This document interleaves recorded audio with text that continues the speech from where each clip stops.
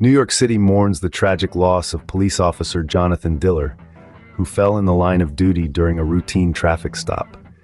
Former President Donald Trump paid his respects, meeting with the Diller family and highlighting the dire need for law and order. The perpetrator, 34-year-old Guy Rivera, exemplifies the dangers faced daily by law enforcement, charged with first-degree murder after allegedly firing upon Officer Diller.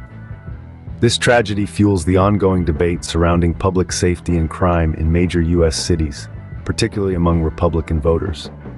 Despite a slight decrease in crime over the past two years, Trump and other Republican leaders criticized Democrats for perceived inaction on crime-related issues. Meanwhile, President Joe Biden attended a high-profile fundraiser with his administration expressing condolences and affirming their commitment to tackling gun violence.